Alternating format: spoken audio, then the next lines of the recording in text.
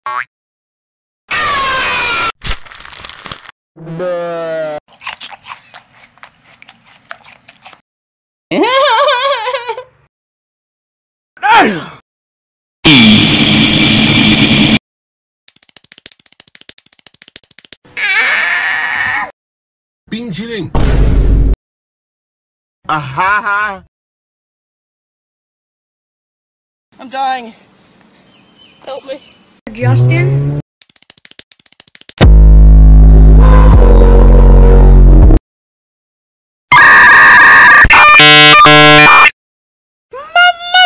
Mr. Krabs. No.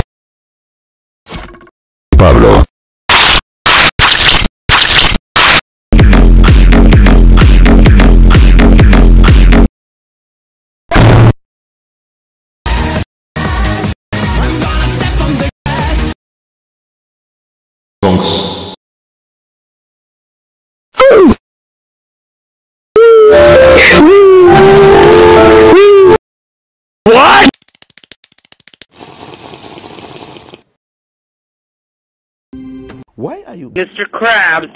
Uh.